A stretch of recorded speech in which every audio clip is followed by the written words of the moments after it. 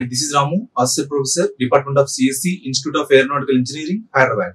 In last class, we have seen arrays, one-dimensional arrays and two-dimensional arrays and multi-dimensional arrays. In this class, we are going to study strings. See, what is a string and how we are going to use the strings in our real time. Everything you will learn in today class, right? See, the first thing, a string is a, a group of characters enclosed with double quote is called as a string.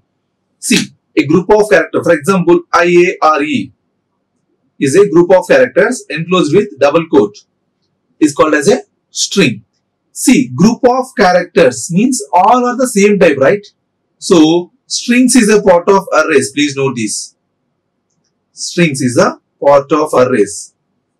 What is array? Array. Array is a set of items with the same type. This is homogeneous, right? The string is also homogeneous. So, strings is a part of the arrays. Please note this. But only the difference between the string and arrays is every string ends with null character. Means end of the string is going to represent it using null character. See, this is the null character.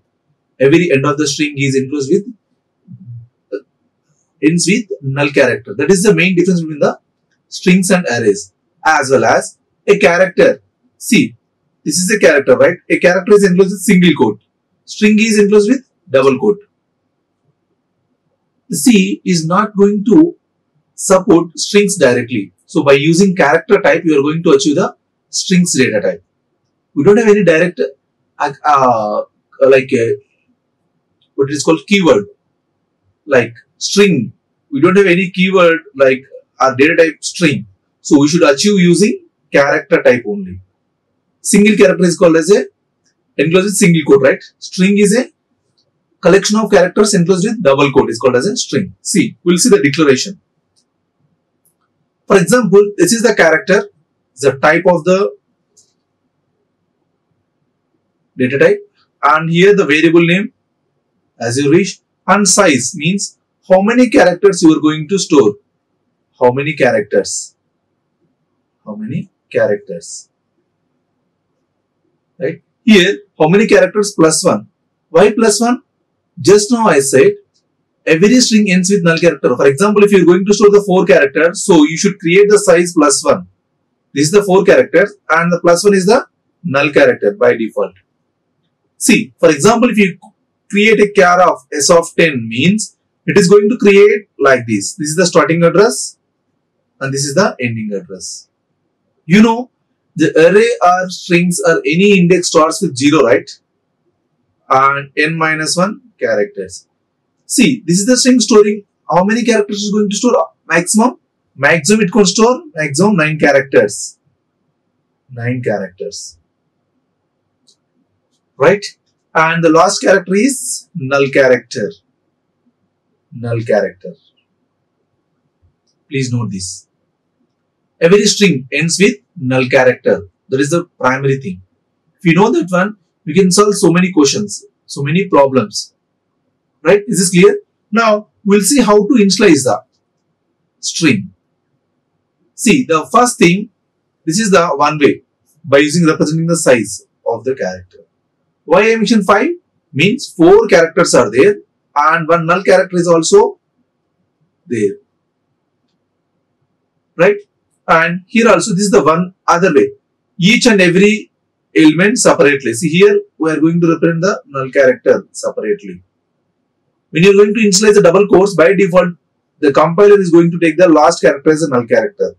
But when you are going to assign like this you should you should take care of the null character. Right? And coming to the here this is the without mentioning the size. And also if you enter more than the characters, all are mentioned as null characters by default. Please note this. When you create a string, so by default, all the spaces is filled with null character. Right? Is this clear? This is where you are going to initialize the string. Right? Next, we'll see how to read the string. You know already, scanf is a statement to read the data from the input. Printf is a statement is going to print a data in on the console, right? Same like that. If you want to handle the strings, you can use gets and puts also. Gets is a statement is going to read a data from the input.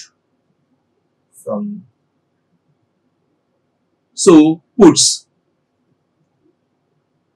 print data into console. Right? Is This is clear. Now we'll see in the editor how we are going to handle the strings. See here I'm going to take a one string. Initially you know that string is a collection of characters enclosed with double quotes. C S of equal to IARE. Right? If you want to print the string, so you know the access specifier is going to use is percentage S.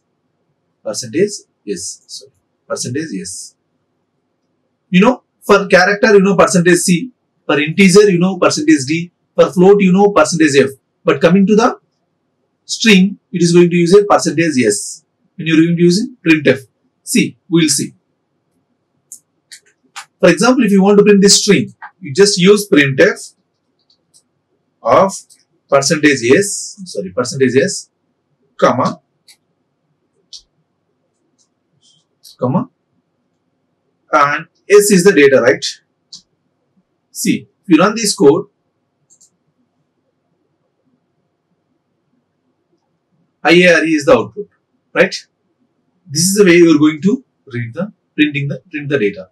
Even if you mention 10 characters, see IRE only. And also the other way, instead of that even if you're not mentioning the size of the data, still it is going to work. Right? By default, the compiler is going to calculate the what is the size of the string based on the number of characters plus 1 as the null character. Right? And as well as C. For example, if you know the size percentage D size of? Yes.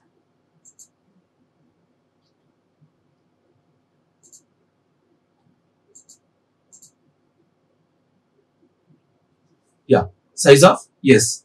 Means if you perform size of s size of s it is going to give 5 is the output. Why? Why it is a 5 we have only five, 4 characters right? Why size of IRE is going to give 5. The reason is the last character is null character. Now is this clear? So every string ends with null character. Every string ends with null character. This is the primary thing. And next thing, for example, if you want to read a data from the input, how you can read? See, this is my string. 10 is the actually. Next, enter your name. See, just leave this one. Printf. Enter your name. Right? Scanf of percentage s, comma, ampersand of s. See, if you use s here,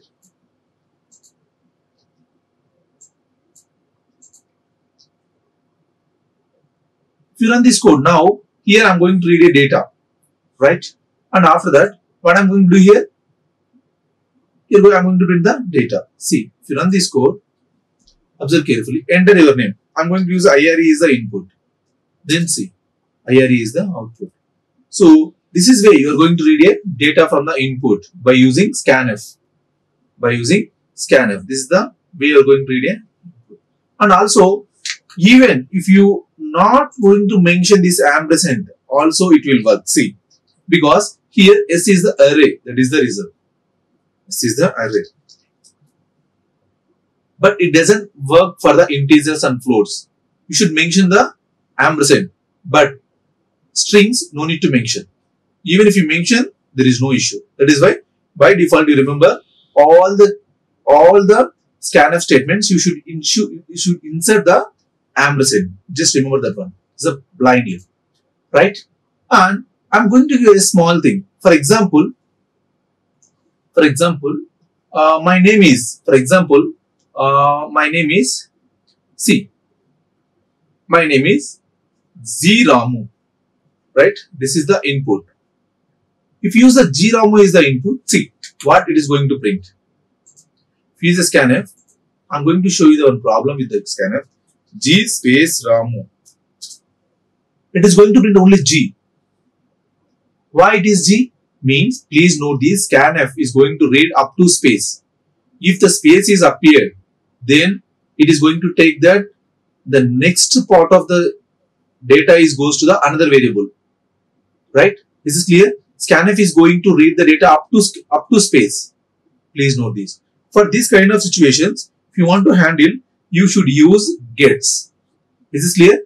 When you are going to use a gets, when you are going to read a sentence, if it is a single word, scanf is will work.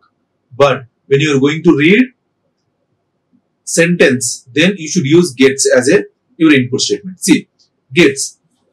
How the gets is syntax? I'm going to explain here. See, gets. Just gets of variable name. That's all. Gets of variable name. It is going to read the in string variable. String means array of characters, right?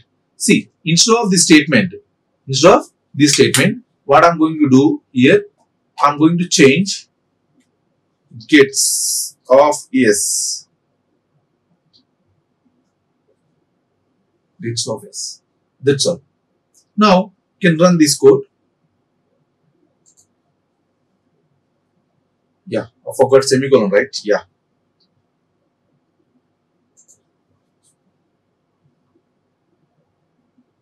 Enter G down. Got it? So, even printf will work for that. But scanf is only read data up to, up to space. That is very, very important. Up to space only.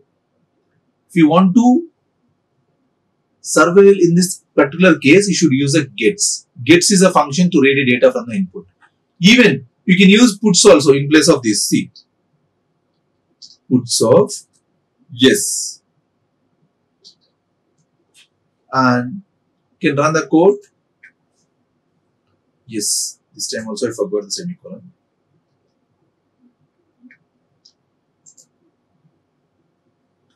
G space RAM. Got it? This is clear? So here also same purpose it's available. So gets is a function is going to read a data from the input puts is a function is going to print the data into the console, right? But only main difference in the gets and scanf. Scanf is going to read a data up to space. Means if you want to read a sentence, you should opt gets as a function. Scanf doesn't survey for your purpose. Right? Is this clear? And in today class we have seen what is a string. String is a collection of characters enclosed with double quotes. Right? Is a part of the arrays. Only difference between the string and arrays is every string ends with null character. Right? And also we have seen how to use a gets and how to use the puts. Gets is a statement to going to read the data from the input. Puts is a statement is going to print the data into the console. But what is the main difference difference between the gets and scanf? If you, if you want to read a sentence, then you should opt gets. If you want to read a word word only, then you go for the scanf. Right? Is this clear? Okay. Thank you. Thank you very much. Like, share and subscribe. Hit the bell icon for more updates.